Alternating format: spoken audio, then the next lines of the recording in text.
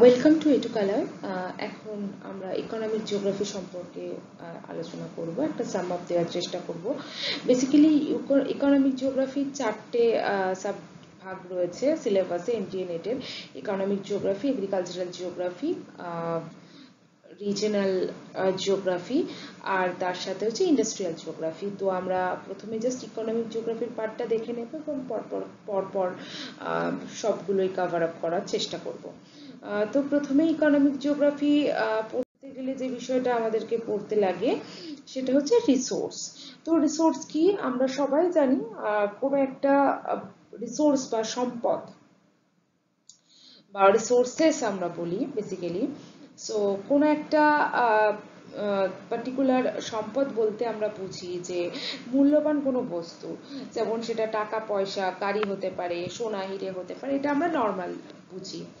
কিন্তু এই ইকোনমিক্সে বেসিক্যালি ইকোনমিক জিওগ্রাফিতে রিসোর্স বলতে যে সকল বস্তু বা অবস্তুগত উপাদান মানুষের চাহিদা বা অভাব মেটায়, অর্থাৎ যা, যেসব সম্পদের, অর্থাৎ যেসব বস্তুর কার্যকারিতা কার্যকারিতা উপযোগিতা আছে তাদেরকেই রিসোর্স বলা হয়।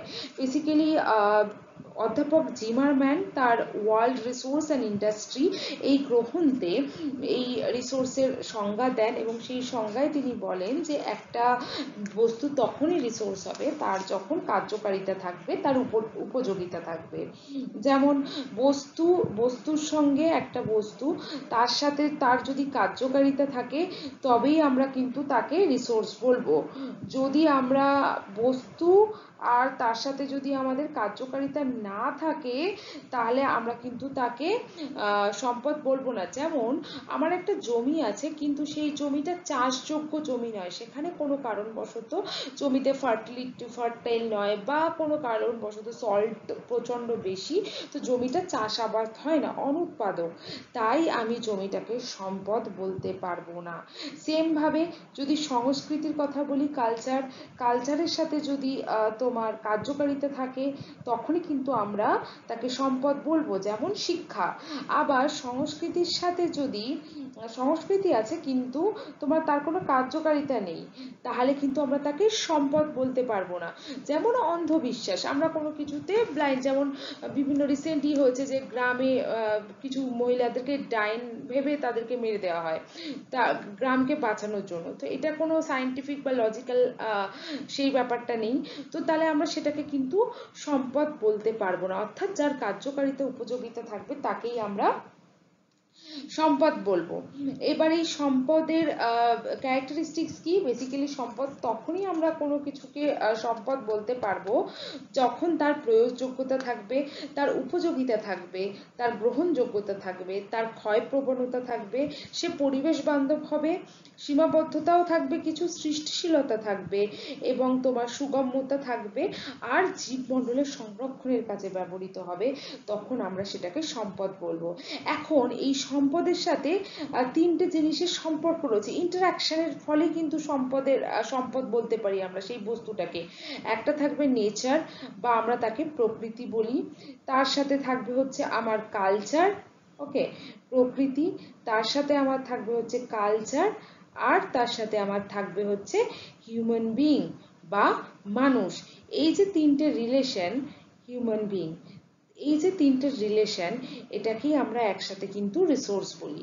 এবার আসি তার পরের পার্ট টাইপ অফ রিসোর্স এটা একটা ইম্পর্টেন্ট টাইপ অফ রিসোর্স তো আমরা জানি রিসোর্সকে দুটো মেন ক্যাটাগরিতে ভাগ করা হয়েছে। একটা হচ্ছে রিনিউয়েবল অর্থাৎ যে রিসোর্স গুলোকে রিনিউ করা যায়। আর একটা হচ্ছে নন রিনিউয়েবল যেগুলো হচ্ছে মানে ব্যবহার করতে করতে একদিন শেষ হয়ে যাবে ভান্ডার তার আর কোনো রিনিউয়েবলের মানে আবার তাকে তৈরি করার কোনো সুযোগ থাকবে না। তো এটাকে বেসিক্যালি সোলার এনার্জি বলা হয়েছে। সোলার এনার্জির মধ্যে আহ, সূর্য air wind water tides okay soil plants এগুলো হচ্ছে সব রিনিউয়েবলের এক্সাম্পল নন রিনিউয়েবল কি? Fossil fuels oil coal natural gas metallic মেটালিকের মধ্যে minerals iron copper aluminium non মেটালিক্সের মধ্যে মেটালিক্সের মধ্যে কিছু মিনারেলস রয়েছে সল্ট ফসফেটস এগুলোর মধ্যে পড়ে। বেসিক্যালি এখান থেকে প্রশ্ন আসে, একটা এক্সাম্পল দিয়ে দিল যে প্ল্যান্ট ওকে তো প্ল্যান্টকে আমরা রিনিউয়েবল রিসোর্স বলব না নন রিনিউয়েবল রিসোর্স বলব? তো আমার যতগুলো টাইপস আছে বেসিক্যালি এরকম এটা আমি জাস্ট একটা জেনারেল ক্লাসিফিকেশন দিয়েছি। তো এটার একটা হিউজ ক্লাসিফিকেশন আছে যে সম্পদ সৃষ্টির উপাদানের উপর ভিত্তি করে, যেমন প্রাকৃতিক সম্পদ, মানবিক সম্পদ, সাংস্কৃতিক সম্পদ, স্থায়িত্বের উপর ভিত্তি করে গচ্ছিত সম্পদ আর পুনর্ভাব সম্পদ, জৈবিক বৈশিষ্ট্যের উপর ভিত্তি করে জৈব সম্পদ, অজৈব সম্পদ, বন্টনের উপর ভিত্তি করে সর্বত্র প্রাপ্ত, সহজ প্রাপ্ত, দুষ্প্রাপ্ত, অদ্বিতীয় সম্পদ। এটা একটু মনে রেখো, অদ্বিতীয় সম্পদ ক্রায়োলাইটকে বলা যায়, ক্রায়োলাইট ওকে দেন সম্পদের প্রাপ্যতা অনুসারে তোমার সম্ভাব্য সম্পদ, বিকাশিত সম্পদ, সম্পদের মালিকানা অনুসারে ব্যক্তিগত সম্পদ, সামাজিক সম্পদ, জাতীয় সম্পদ, যেমন আন্তর্জাতিক সম্পদ। আন্তর্জাতিক সম্পদ কি? বায়ুমণ্ডলের ওজন স্তর আন্টার্কটিকা, এগুলো হচ্ছে আন্তর্জাতিক সম্পদ বা সর্বজনীন সম্পদ, স্পর্শযোগ্যতা অনুসারে বস্তুগত সম্পদ, অবস্তুগত সম্পদ। তো এই বিভিন্ন যে টাইপস আছে, সেই টাইপসে কি কি টাইপস অফ রিসোর্স মানে রিসোর্সের টাইপস এবং এক্সাম্পল পরীক্ষাতে এক্সাম্পল দিয়েই বলে এটা কোন টাইপ অফ রিসোর্স বা এই রিসোর্সটাকে কি বলা হচ্ছে। তো এইরকম কোয়েশ্চেন আসে। তো তোমরা একটু ওই জায়গাটা দেখে নিও।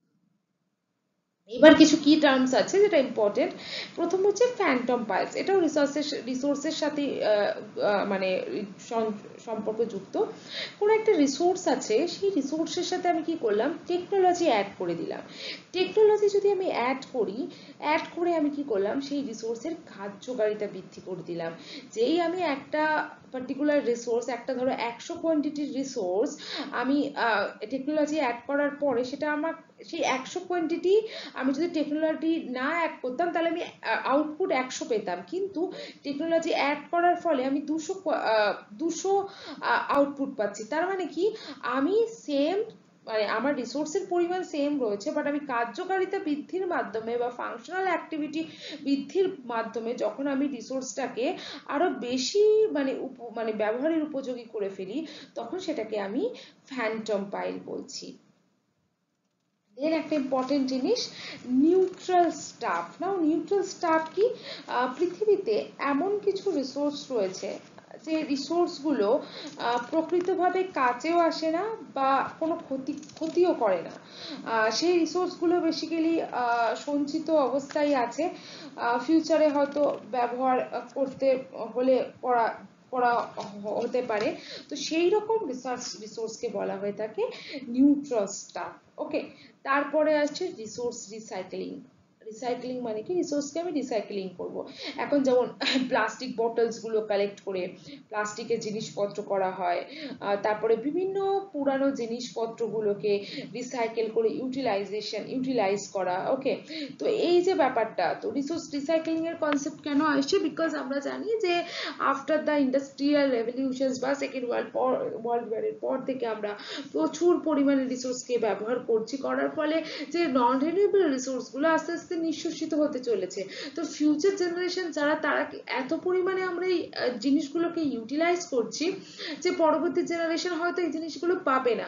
তাই তার জন্য আমরা এখন আর আর আর কনসেপ্ট এনেছি রিসোর্স রিনিউ মানে রিনিউ রিসাইকেল অ্যান্ড রিইউজ এই কনসেপ্টটা তো সেখানে আমরা রিসোর্স রিসাইক্লিং করছি। কনজারভেশন কি? কনজারভেশন অফ রিসোর্স মানে হচ্ছে নন রিনিউয়েবল যেসব রিসোর্সগুলো রয়েছে, সেই রিসোর্স গুলোকে আমরা একটা মানে পরিমাণ মতো ইউজ করা যাতে আমাদের যে ফিউচার জেনারেশন আছে, তারা যেন সেই রিসোর্সটা ইউটিলাইজ করতে পারে। আস্তে আস্তে আমাদের কয়লার যে কয়লার কয়লার যে আমাদের মানে এটা খনি যেটা, যেটাকে বলি, কয়লার যে আমাদের, আহ কনজারভেশন যেটা আছে, সেই কয়লা আস্তে আস্তে নিঃশ্বসিত হতে চলেছে। পেট্রোলিয়াম যেটাকে আমরা, যেটা একটা ইম্পর্টেন্ট পার্ট আমাদের পেট্রোলিয়াম আস্তে আস্তে নিঃশ্বসিত হতে চলেছে। তো এই ব্যাপারগুলোকে যে কনজার্ভ করা, যে কতটা ইউজ করব পলিসিস নেওয়া ডিফারেন্ট পলিসিস নেওয়া, সবাইকে মোটিভেট করা অ্যাওয়ারনেস ইনহ্যান্স করা, এগুলো হচ্ছে conservation of resource. এবার আসছে important part economic activity we know that আমাদের, আমরা সেভারাল ইকোনমিক অ্যাক্টিভিটি আন্ডারে পড়ি এবং সেটাকে ডিফারেন্ট ভাবে ক্লাসিফাইড করা হয়। উই আর লাইক কেউ কৃষিকাজ, কেউ কলেজে পড়ান, কেউ doctor so based on their work profile আমরা সেটাকে বিভিন্ন ভাবে, বিভিন্ন ডোমেনে ভাগ করেছি। টোটাল পাঁচটা প্রাইমারি ক্লাসিফিকেশন আছে যেটা আমি এখানে অ্যাড করেছি। So primary activities secondary activity so primary activity কি সেকেন্ডারি অ্যাক্টিভিটি কি? এখানে আমি বলেই দিয়েছি যে ডিরেক্ট এক্সকারশন যখন করছি আমরা বা নেচার থেকে ডিরেক্ট পাওয়া যাচ্ছে যে জিনিসগুলো এগ্রিকালচার ফিশিং এগুলোকে আমরা প্রাইমারি বলছি। চেন সেকেন্ডারি কোনগুলো তার এক্সাম্পল টার্সিয়ারি কোনগুলো তার এক্সাম্পল কোয়াটারনারি কুইনারি কোনগুলো তার এক্সাম্পল এবং কোয়াটারনারি কোনগুলো তার এক্সাম্পল তার সাথে সাথে আমাদের ডিফারেন্ট কলার্সগুলো পড়তে হবে। অর্থাৎ প্রত্যেকটা ওয়ার্ক প্রোফাইলের বেসিসে আমরা একটা করে কলার অ্যাড করেছি। তো আমরা প্রত্যেকটা কলার এর একটু জাস্ট আমি মুখেই বলে দিচ্ছি। ব্লু কলার যেমন ব্লু কলার আমরা বলি ম্যানুয়াল লেবার যারা, তারা ব্ল্যাক যারা মিনারেলস গ্রিন মানে ইনভায়রনমেন্ট সার্ভিস যারা করে হোয়াইট হাই লেভেল অ্যাডমিনিস্ট্রেটিভ যারা সামলায় পিঙ্ক কলার কারা, যে ডিফারেন্ট সার্ভিস রিলেটেড গ্রে হচ্ছে স্কিল টেকনিশিয়ান যারা হয়, তারা গোল্ড কলার কারা ডক্টর প্রফেসর এরা ইয়েলো কলার কারা, যারা ফিল্ম মেকার তারা হচ্ছে ইয়েলো কলার তো এই ব্যাপারগুলো ইকোনমিক অ্যাক্টিভিটি এখান থেকে অনেক প্রশ্ন আসে, এই দুটো থেকেই আসে টাইপস এবং কলার্স তো একটু দেখে নিই এই পার্টটা এবার আসছে আমাদের রিসোর্স ডিস্ট্রিবিউশন সো অফকোর্স রিসোর্সের মধ্যে ফার্স্ট যে রিসোর্সের আমরা কথা বলব, সেটা আমরা বলব ফরেস্ট রিসোর্স তো গোটা ওয়ার্ল্ডে total thirty one percent forest আছে ওকে সো এবার হচ্ছে এই যে টোটাল ফরেস্ট গোটা ওয়ার্ল্ডে তো বর্তমানে এটা পার্সেন্টেজ কমেছে, তো দেখে নিও কোথায় কি, কতটা কি আছে কারেন্ট এটা অনুযায়ী একটু। Then forest types of forest যেমন tropical rain forest tropical monsoon Mediterranean forest temperate deciduous temperate coniferous taiga forest tundra desert তো এখানকার ক্লাইমেট কি ক্যারেক্টারিস্টিক্স কি, কোথায় অবস্থিত, কি কি ট্রি জন্মায় জাস্ট একটা চার্ট করে নিও, খুব সুবিধা হবে। দ্যাট একদিকে name of the forest climate characteristics location and trees এইভাবে ছক করে নিলে চারটে ঠিক আছে? দেন ছক করার পরে সেখানে প্রত্যেকটা ফরেস্টের নাম লিখলে এবং সেখানে জাস্ট ছোট ছোট ছোট ছোট করে নোট ডাউন করলে। তাহলে মনে রাখতেও সুবিধা হবে চার্টটা আর তোমার পুরো জিনিসটা খুব ইজিলি কভার হয়ে যাবে। তো একটা চার্ট এটা ছোট করে নিতে পারো, খুব সুবিধা হয়। আর ডিফারেন্ট যে সেলভা ফরেস্ট আছে, তো সেলভা ফরেস্ট ডিফারেন্ট জায়গায় ডিফারেন্ট নাম। তো কোথায় কি নাম, এটা একটু পড়তে হবে। কোথাও সেলভা কে প্রেরি কোথাও তোমার বা সাভানা ফরেস্ট যেগুলো আছে, তো প্রেরি কোথায় বলা হয়ে থাকে, ঠিক আছে? তো এই ব্যাপারগুলো একটুখানি পড়ে নিতে হবে। যেমন সেলফি বেসিক্যালি ফরেস্ট হ্যাঁ? তারপরে তোমার মিল্পা বলা হয় আমেরিকাতে, মুসলিম বলা হয় আফ্রিকাতে, এগুলো একটু দেখে নিও কোথায় কি বলা হচ্ছে বেসিক্যালি সেলভা ফরেস্ট ফরেস্টগুলোকে বা এগ্রিকালচারের ক্ষেত্রেও তাই আছে যে বিভিন্ন এগ্রিকালচারের যেমন শিফটিং কাল্টিভেশনের ক্ষেত্রে তো বিভিন্ন নাম আছে যে তোমার কোথায় কি বলা হয় বেসিক্যালি এই চাষগুলোকে। তো সেটাও একটু দেখে নিও, এটা সুবিধা হবে। আর একটা জিনিস ফরেস্ট থেকে আসে যে সিকোয়েন্স অর্থাৎ ডিসেন্ডিং অর্ডারে তো সব থেকে বেশি আছে টপিক সব থেকে মানে বেশি আমাদের ওয়ার্ল্ডে রয়েছে tropical rain then temperate deciduous then temperate coniferous then taiga then তুই তুন্দ্রা দেন ডিজার্ট আর ইন্ডিয়ার ক্ষেত্রে সব থেকে বেশি আছে টপিক্যাল ডেসিডুয়াস ঠিক আছে? আর একটা দেখে নিও আলপাইন ফরেস্টটা আলপাইন ফরেস্ট যেমন বত্রিশশো থেকে সাঁত্রিশশো মিটার অব্দি সিচুয়েটেড বিভিন্ন বইতে এটা বিভিন্ন রকম পাবে, একটু জাস্ট ভেরিফাই করে নিও। দেন এখানে কোথায় এগুলো, এই আলপাইন ফরেস্ট দেখা যায়? হাইস্ট ফরেস্ট কভার কান্ট্রি হচ্ছে তোমার রাশিয়া। আর কোথায় একদমই ফরেস্ট নেই।